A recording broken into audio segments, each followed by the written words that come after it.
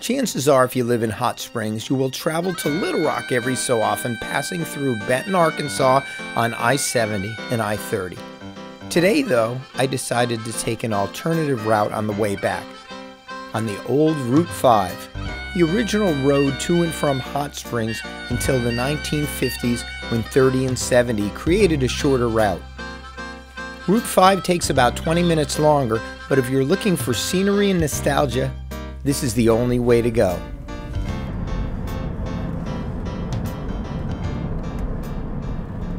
The first thing you'll notice, especially this time of year, is the foliage and the trees turning color and losing their leaves. The winding curves and lower traffic flow on this route make driving much more adventurous and fun. My first stop was Riverside Grocery and Catering. When you get out of your car, you realize that you can walk over to the banks of the North Fork of the Saline River and just relax. This is the perfect place to have lunch if you could find a lunch place nearby. Wait a second, what's this? Restaurant tables in the store? It's a lunch counter with the works. On today's menu, potato surprise, blueberry cobbler, buttered corn, catfish and hush puppies. And seeing as though it's hunting season, why not pick up a few bags of deer corn while you're at it? I got the blueberry cobbler and headed back on the road.